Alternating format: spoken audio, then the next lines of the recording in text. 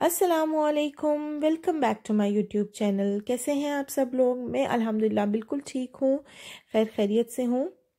आज की वीडियो हमारी विटामिन सी के हवाले से है। विटामिन सी सीरम बनाना बताऊँगी मैं आपको। और बहुत ही आसान इंग्रेडिएंट्स यूज़ होने वाले हैं इसमें, जो कि आपको अपने घर से ही मिल जाएँगे। विटामिन सी सीरम बनाने से पहले हमें ये पता होना चाहिए कि विटामिन सी है क्या? और ये हमारी स्किन के लिए क्यों ज़रूरी है?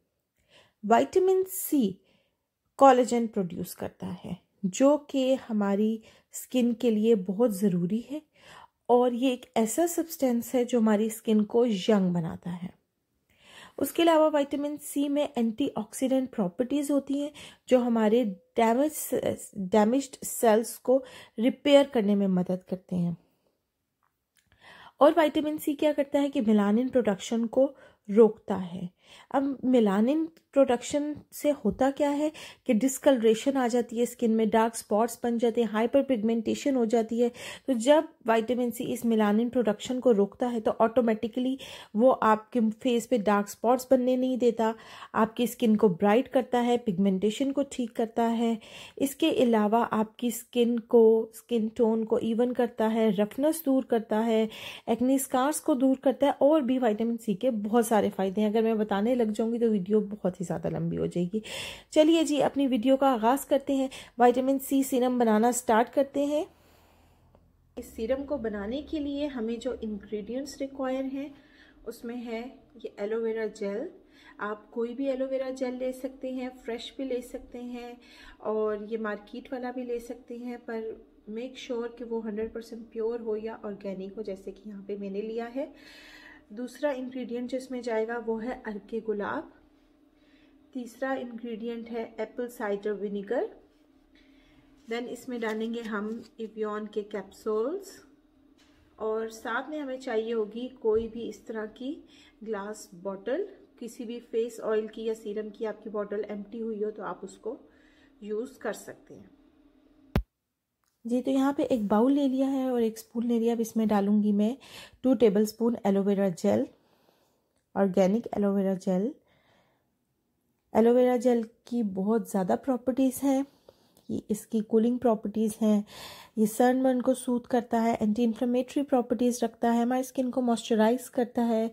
इसमें एंटीऑक्सीडेंट्स बहुत ज़्यादा होते हैं, हमारी स्किन को हाइड्रेट रखता है। स्किन को सॉफ्ट बनाता है एक्नी दूर करता है एंटी एजिंग प्रॉपर्टीज़ हैं। यहाँ पे मुझे थोड़ी सी मुश्किल हो रही थी क्योंकि मेरा जेल बिल्कुल ख़त्म होने वाला था। इन तमाम इंग्रेडिएंट्स को यूज़ करके जो हम विटामिन सी सीरम बनाएँगे तो वो हमारी स्किन पे एक मैजिकल ग्लो लेके आएगा, हमारी स्किन को लिफ्ट करेगा पिगमेंटेशन को दूर करेगा डार्क स्पॉट्स को दूर करेगा एक्नी को फाइट करेगा। और भी इसके बहुत सारे फ़ायदे हैं। जब आप ख़ुद यूज़ करेंगे तो आपको आहिस्ता आहिस्ता इसके फ़ायदों का पता चलता रहेगा। इसके बाद जो नेक्स्ट इंग्रेडिएंट इसमें हमने डालना है, वो है अर्के गुलाब। और जितना जो क्वांटिटी हमने एलोवेरा जेल की ली है सेम क्वांटिटी में लूँगी अर्के गुलाब की। टू टेबल स्पून यहाँ पे अर्के गुलाब का शामिल कर रही हूँ मैं two tablespoon aloe vera gel में। अब इसको अच्छी तरीके से मिक्स करूँगी, ताकि एलोवेरा जेल अच्छी तरीके से अर्के गुलाब के साथ मिक्स होके एक अच्छी सी फॉर्म इख्तियार कर ले। एलोवेरा और अर्की गुलाब अच्छी तरीके से मिक्स हो गया। अब इसमें डालेंगे टू एवियन के कैप्सूल्स विटामिन ई कैप्सूल्स हैं ये। अगर आप डेली रूटीन में इसको यूज़ करते रहते हैं और ये आपकी स्किन पे सूट करता है तो आप इसे ज़रूर सीरम में शामिल कीजिए। पर अगर ये आपको सूट नहीं करते हैं तो आप इसको स्किप भी कर सकते हैं। विटामिन ई कैप्सूल्स भी एंटी एजिंग प्रॉपर्टीज़ रखते हैं, हमारी स्किन को स्मूथ बनाते हैं, हमारी एक्नी को फाइट करने में हेल्प करते हैं। और डिस्कलरेशन को दूर करते हैं और भी इसके बहुत सारे फ़ायदे हैं। तो इस वजह से हम इसको विटामिन ई e को अपने सीरम्स में ऑयल्स में क्रीम्स में यूज़ करते हैं। जी तो एक कैप्सूल मैंने डाल दिया है। अब इसमें मैं डाल रही हूँ दूसरा कैप्सूल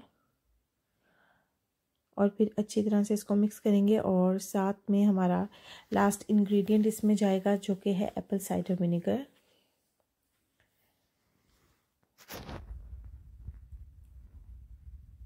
तो यहाँ पे मैंने दूसरा कैप्सूल भी डाल दिया है। अब हम इसमें डालेंगे apple cider vinegar apple cider vinegar क्या करता है कि वो आपकी स्किन को लाइट करता है पिगमेंटेशन को दूर करता है, आपकी एक्नी को रिड्यूस करता है। एंटी बैक्टीरियल प्रॉपर्टीज़ हैं इसमें एंटी फंगल प्रॉपर्टीज़ हैं और आपके पीएच लेवल को भी बैलेंस करता है। एप्पल साइडर विनेगर की स्मेल बहुत ही स्ट्रॉन्ग होती है और हर किसी से बर्दाश्त नहीं होती। तो इसीलिए मैं यहाँ पर बहुत ही थोड़ा सा एप्पल साइडर विनेगर यूज़ करूँगी। एक टेबल स्पून भी पूरा मैं यहाँ पे नहीं लूँगी एप्पल साइडर विनेगर का, ताकि हम इसको इजीली यूज़ कर सकें। इसकी स्मेल से ऐसा ना हो कि हम इसको इस्तेमाल ही ना कर सकें। बहुत ही थोड़ा सा एप्पल साइडर विनेगर मैंने इसमें डाला है और अब मैं अच्छी तरीके से मिक्स कर लूँगी सीरम को। जी तो हमारा सीरम तैयार हो चुका है और कुछ इस तरह से इसकी कंसिस्टेंसी है। और यहाँ पे मैं देख रही थी कि बहुत ज़्यादा स्मेल तो नहीं आ रही एप्पल साइडर विनेगर की, लेकिन नहीं, बिल्कुल भी ऐसा नहीं था। क्योंकि मैंने बहुत ही कम डाला था एप्पल साइडर विनेगर तो वो उसमें मिक्स होके उसकी स्मेल जो है वो बिल्कुल ख़त्म हो गई थी। और अब हम जल्दी से इसको जो है वो एक ग्लास बॉटल में डाल लेंगे सीरम को। आप किसी ड्रॉपर या सिरिंज की मदद से भी डाल सकते हैं। यहाँ पे मैंने इसको फास्ट फॉरवर्ड पे लगाया और जल्दी जल्दी से मैं आ, सीरम को जो है वो बॉटल में डाल रही हूँ।